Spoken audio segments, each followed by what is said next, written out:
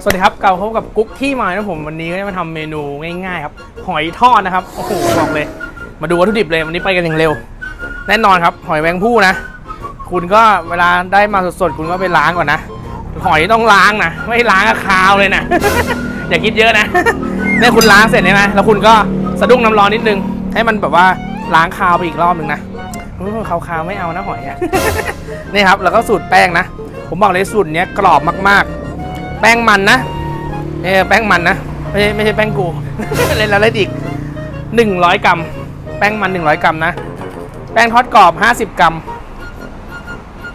แป้งข้าวเจ้า50กรัมนะไปอย่างเร็วง่ายๆ น้ำเปล่า 200 กรัมมาเดี๋ยวลงให้อีกทีนะเผื่อเร็วไป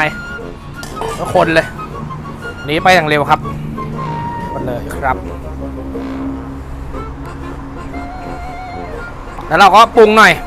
แน่นอนผมบอกแล้วซอสเอกประสงค์ ใส่ได้ทุกเมนูจริง สูตรนี้ผมใส่มาสองช้อนนะสองช้อนเนี้ยของผมอะกำลังดีเลยแหละ ไม่เค็มมาก แค่นี้เลย เสร็จปั๊บฝาเขียวเพิ่มความหอมนิดนึง แล้วก็พริกไทยพริกไทยนิดนึงนะ แค่นี้แหละ ส่วนตัวหอยนะ สำหรับผมนะ คือผมไม่ชอบกลิ่นคาวมัน ไม่ชอบหอยหอยคาวๆผมจะใส่เหล้าจีนนิดนึง ดับ ใส่ไปเลยหมายถึงว่าแบบล้างๆมันเฉยๆอะอย่างเงี้ยผมก็คลุกๆไปอย่างเงี้ยแค่นี้แหละ ช่วยได้นิดหน่อยนะเหล้าจีนอะความจริงอะนะไม่คาวแล้วไปครับ นี่นะเวลาเวลาคุณทำคุณก็แบ่งนะ มันทำได้หลายทีนะ ผมว่าสูตรหนึ่งทำได้ประมาณสามกระทะคุณก็ลองกระกาวนะว่าแบบพอชั่นหนึ่งผมว่าผมใส่ประมาณสี่ทัพพีห้าทัพพีกำลังดีนะห้าทัพพีนะแล้วคุณก็ใส่ไข่ไปฟองหนึ่งเนี่นะใส่ไข่ฟองหนึ่งปั๊บแล้วใส่หอยไปนิดนึง ถ้าเยอะเกินไปมันจะไม่กรอบนะ แล้วใส่ต้นหอมนิดนึง โอเค อันนี้แหละ เราก็พร้อมแล้วพร้อมทอดแล้ว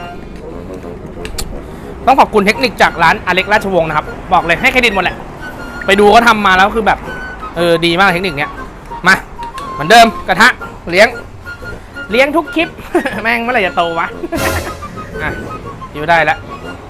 ปึ๊บเบาเป็นไฟกลางนะ แล้วก็น้ำมันนิดนึง น้ำมันที่ไม่ไม่ร้อนมากนะ ใส่นิดนึงก่อนนะเราสร้างแพงก่อนอ่าใส่ไปเลยเกี่ยให้มันวงกลมหน่อยนะสวยๆหน่อยโอเคนี่แหละตอนนี้เราสร้างสร้างแพรมันก่อนนะ เห็นปะล่อนเลยว้าโอ้โห สุดยอดจริง ๆ กระทะเหล็กนี่คุณภาพ แล้วเพื่อนๆถามเยอะมากกระทะซื้อที่ไหนกระทะซื้อที่ไหน นี่ถามจนผมจะเอาเข้ามาขายนะ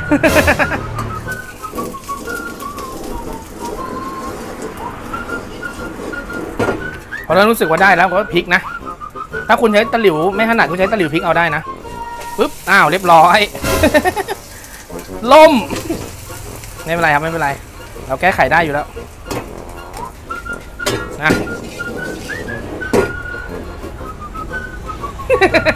ชัดเลยโคตรเลียว เสียฟอร์มเลยโอ้โหตายแล้วนี่นะแต่พอนี้เสร็จปุ๊บนะคุณทอดมันเลย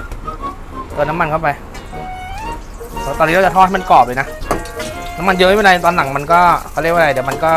เดี๋ยวเราค่อยไล่น้ำมันออกได้ ชัดเลยพริกซะเท่เลยเนี่ยไปไปไม่หมดเขาเรียกไม่ครับ เราเรียวๆไม่มีคัดเอาใหม่ไม่มีนะนี่เลย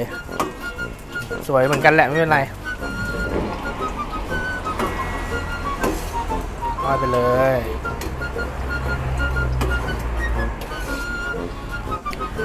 คนมาดูกลางคลิปไม่ใช่ไข่เจียวนะคุณหอยทอดนะ ไม่ใช่ไข่เจียวนะ อย่างที่ประชาสัมพันธ์ไปนะครับ ในในเพจนะ ช่วงนี้นะครับ ช่วยเหลือเพื่อนๆนะ เพื่อนพี่น้องอะไรเงี้ย ถือว่าผมมีช่องทางนะ ใครมีสินค้าเกี่ยวกับอาหารนะ ส่งมาให้ผมรีวิวได้เลย ดี๋ยวทำคลิปรวมรีวิวทีเดียวอะไรเงี้ยช่วยช่วยช่วยช่วยกันครับ ว่ามันเริ่มกรอบแล้วนะคุณฟังเสียงนะ ดูดิเนี่ยพอเริ่มกรอบปุ๊บทำไงครับของทอดทุกอย่างผมพูดเสมอนะ ให้เราเร่งไฟนิดนึง เพื่อให้น้ำมันที่อยู่ข้างในเนี่ยมันวิ่งออกมานะครับ จะได้ไม่อมน้ำมันไม่ใช่เหรอโอ้โหดูดิน่ากินมากโอ้โหโคตรกรอบอะนี่ครับเร่งไฟแป๊บเดียวนะ ระวังไหม้นะตอนเร่งอะประมาณเนี้ยพอละสัก ห้าหกวินะ นี่ดูดิโอ้โหโอ้โหสุดยอดหอยทอด บานเป็นดาวอังคารเลย ไม่ใช่ไข่เจียวนะ ย้ำอีกทีหนึ่ง ผัดง่ายมากถั่วงอกคุณใส่กระเทียมไปนิดนึงนะ กระเทียมไทยนี่แหละ หรือกระเทียมจีนก็ได้แล้วแต่ ใส่ถั่วงอกเข้าไปเลย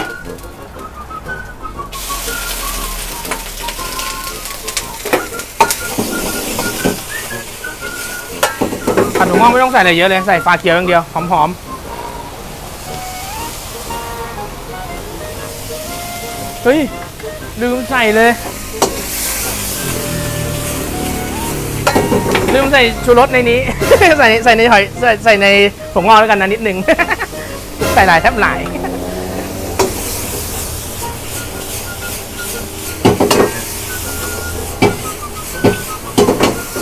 พอแล้วแหละ นมหอมไม่เฉยนะ ไปครับจัดจานกัน ให้ดูความกรอบว่ากรอบขนาดไหนนะอือหือคุณจะแบ่งไงก็ได้นะแล้วแต่คุณนะ นี่ผมแบ่งให้กินง่ายหน่อยนะโหดูดิตายแล้ว นี่หอยทอดจริงหรือเปล่าเนี่ยกรอบเกินไป สุดยอด ชิมเลยไม่ได้พูดพร่ำทำเพลง ดูครับ ชิ้นใหญ่ขอขอนี่หน่อยนะเขาเรียกว่าอะไรอะถั่วงอกนิดนึงถั่วงอกนี่ก็หอมนะ ลืมใส่ชูรสในหอยนะใส่ถั่วงอกก็ยังดีไปครับ กรอบนอกนุ่มในแน่ๆนะครับผมน้ำจิ้มนี่ก็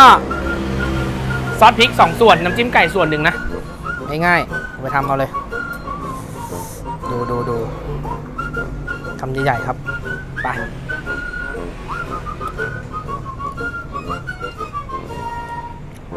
ก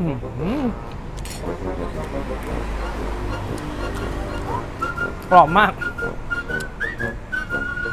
ไปดูความกรอบ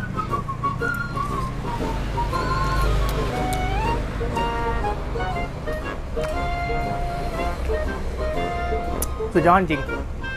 ขอบคุณวิธีเทคนิคจากอเล็กราชวงศ์นะครับ กรอบอร่อย texture ที่ไม่เคยเจอนะ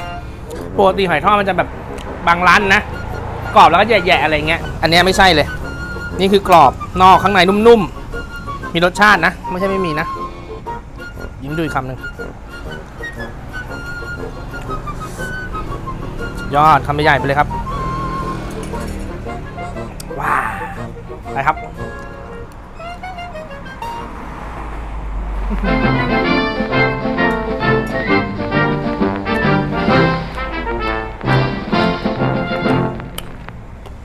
ยอด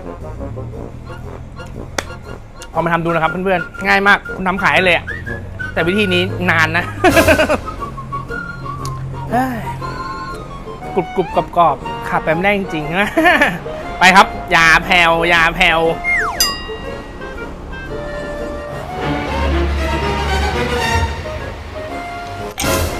อ่าชื่นใจจริง ๆทำได้ก็ดีครับ ทำไม่ได้ที่นี่ไม่มีขายเหมือนเดิม ก็คุณไปลองกินร้านอเล็กราชวงศ์ก็ได้หน้าตาคล้ายกันเลย แต่ของเขาผมสูตรแป้งอะผมไม่รู้ของเขามาไงอาจจะแตกต่างกันไปเนี่ยช่วงนี้เหมือนเดิมครับโควิดนะครับเพื่อนๆดูแลตัวเองกันด้วยนะครับเป็นกำลังใจให้ทุกคนครับ ฝากกดไลค์กดแชร์กด subscribe นะครับผมเจอกันคลิปหน้าครับ